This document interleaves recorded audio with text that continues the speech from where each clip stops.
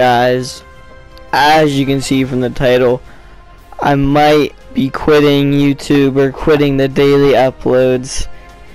It's just kind of starting to get tough, and uh, my girlfriend just broke up with me. We've been dating for a year and a half now, so that was a heartbreaker. Um, that really fucking sucked.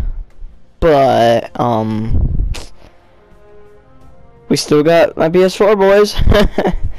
just gonna sound. I forget who is an Ant Man, but oh, my mom died. My dad got deported. We still got the van though. you know that. Okay.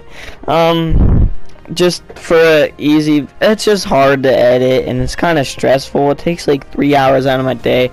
Record a video is usually about an hour. 40 minutes to an hour, then the edit's about an hour, so it's just kind of stressful and hard, unless I'm really rushing and I guess that's kind of what I'm doing today. I'm rushing because I don't want to do this, but I'm doing it because I just want I, I just want to focus on myself. I want to start working out more. Ever since I started doing my daily uploads, it's been so much harder to work out because I find like no time in my day. So my girlfriend started breaking up with me. Just gotten a bad sleep schedule, going to sleep late, waking up late. It's just been rough, and that's why I haven't been uploading but I'm gonna try and keep it up, boys. And just a game that I don't usually rage a lot, and it's a really fun game in my opinion, is good old Splitgate.